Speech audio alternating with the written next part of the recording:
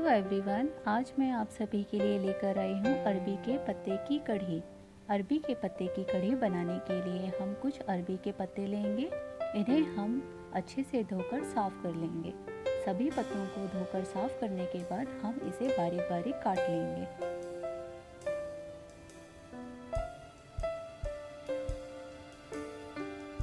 अब हाफ़ कटोरी चने की दाल लेंगे, इसे हम रात भर भिगो कर रखेंगे और मॉर्निंग इसका फाइन पेस्ट बना लेंगे। इसी तरह हम उड़द की दाल लेंगे।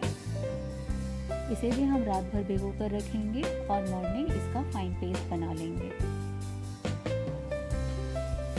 अब हम कुछ मसाले लेंगे। मैंने यहाँ पर धनिया पाउडर लिया है, अदरक के कुछ टुकड़े लिए हैं, कुछ कलियाँ लहसुन की, हरा मिर्च, जीरा, हल्दी पाउडर और काली मिर्च पाउडर। इसका हम फाइन पेस्ट बना लेंगे। अब हम अरबी के पत्ते लेंगे।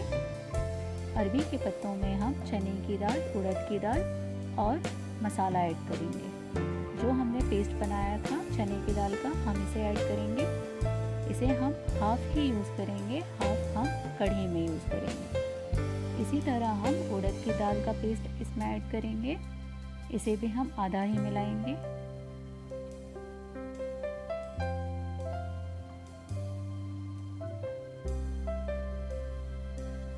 अब हम इसमें मसाले ऐड करेंगे। इसे भी हमें हाफ़ ही यूज़ करना है, हाफ़ हम कढ़ी में यूज़ करेंगे।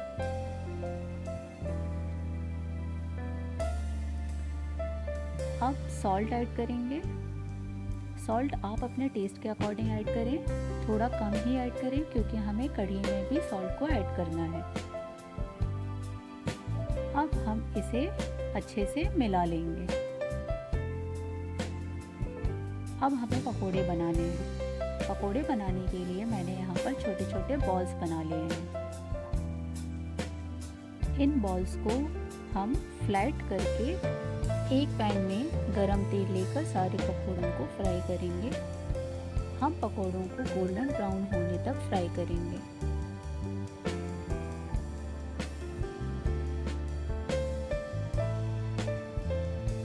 एक साइड से ब्राउन होने पर हमें पकौड़ों को पलटते जाना है।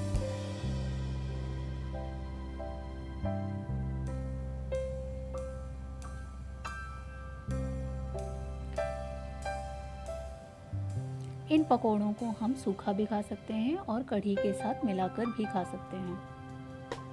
अब हमारे पकौड़े तैयार हैं। हम इसे एक प्लेट में निकाल लेंगे।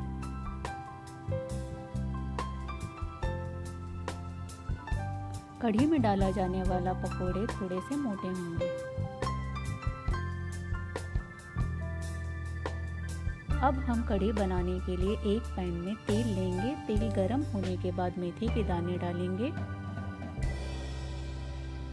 दो मिर्च डालेंगे और कुछ कड़ी पत्ते डालेंगे। मैंने यहाँ पे 10 से 12 कड़ी पत्ता लिया है। अब हमने जो मसाला तैयार किया था, उसे डाल देंगे।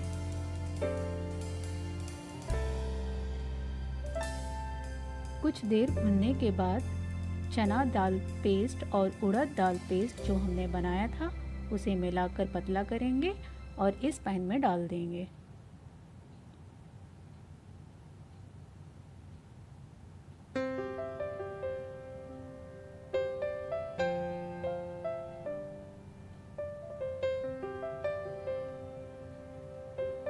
अब हम दो ग्लास पानी डालेंगे।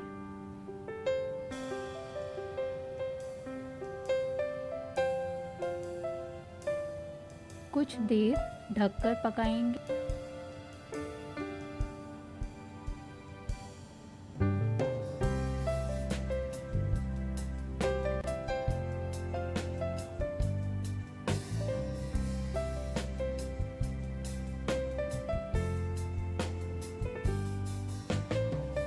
और एक उबाल आने पर हम सभी पकौड़ों को एक एक करके कढ़ी में डाल दें।